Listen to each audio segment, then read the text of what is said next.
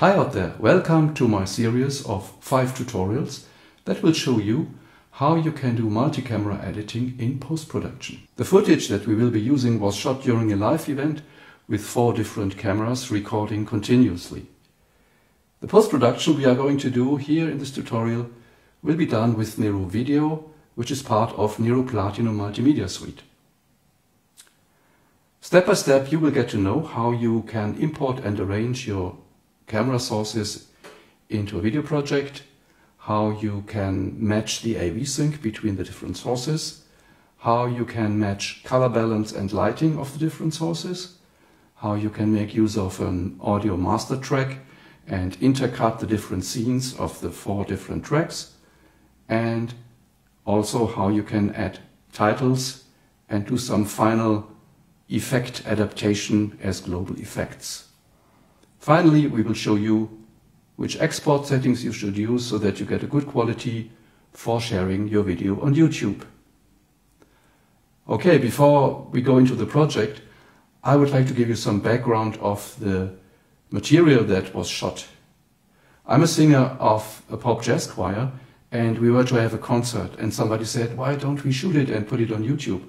I said, well, just using one camera will be difficult because the uh, quality will not be very nice and just the wide angle will be very boring for the people. So, but there was also no chance that one of us could operate any camera, camera because all of us had to sing. And we are 35 people, so it's a big, a big choir. Said, okay, if we could get different cameras and arrange these in defined positions on tripods and pick up different angles of the choir while the choir is performing and do some editing in post-production, that would maybe give us quite an appealing video. And we said, okay, let's try to do it. Uh, finally, we got four different cameras, a Sony VG900, an HDV camcorder, two GoPros. So the setup and the scenario was quite challenging, uh, especially as we also did not have time to do any white balancing up front because we just had to practice our singing. So a challenge for the post-production, but you will see that it can be done fairly easily in Nero Video. So let's start with the first tutorial where we want to import and arrange the material in the project.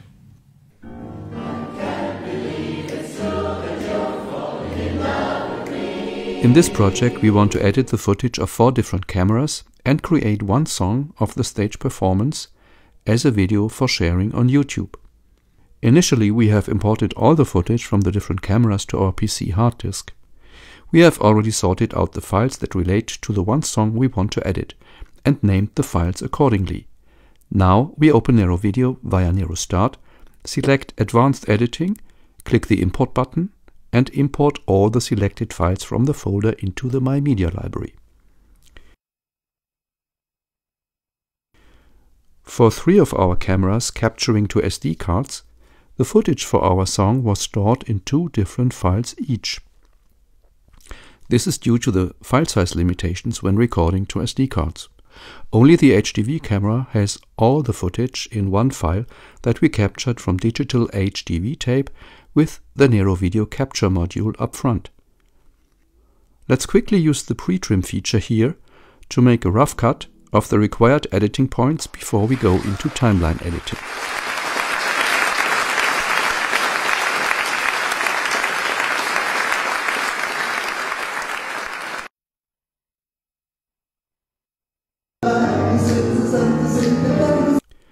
By double-clicking on the clip, we can simply do this from the preview window and set mark in points and mark out points roughly matching the beginning and end of the recorded song per camera.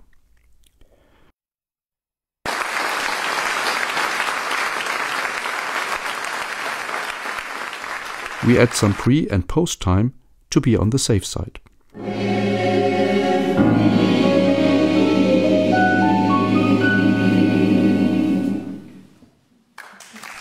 These trim points are retained as you move each clip on a timeline track and they are very helpful for faster AV sync.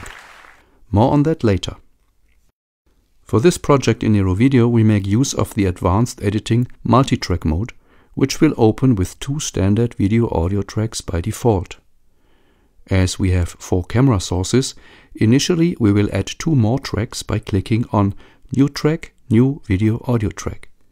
These tracks will appear as Video Audio 3 and Video Audio 4 top of the timeline.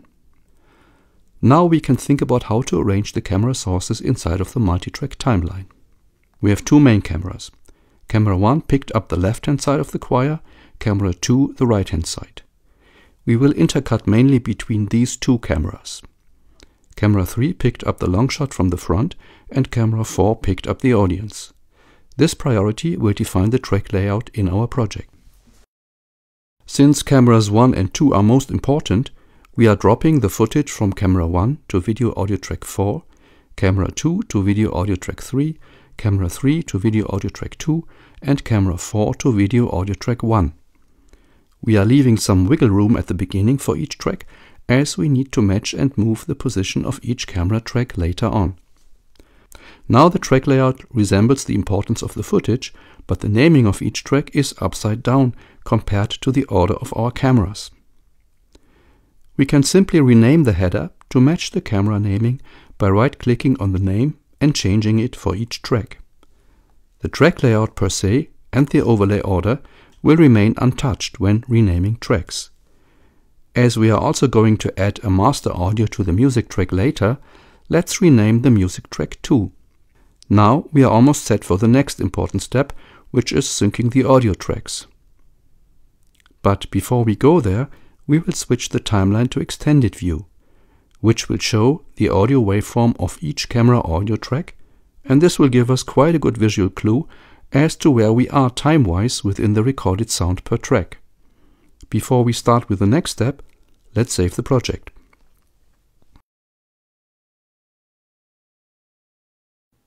Okay, now we are ready with part one of our tutorials and the next part is AV sync in multi-camera editing, which is a very important thing to do because otherwise you cannot do any editing at all.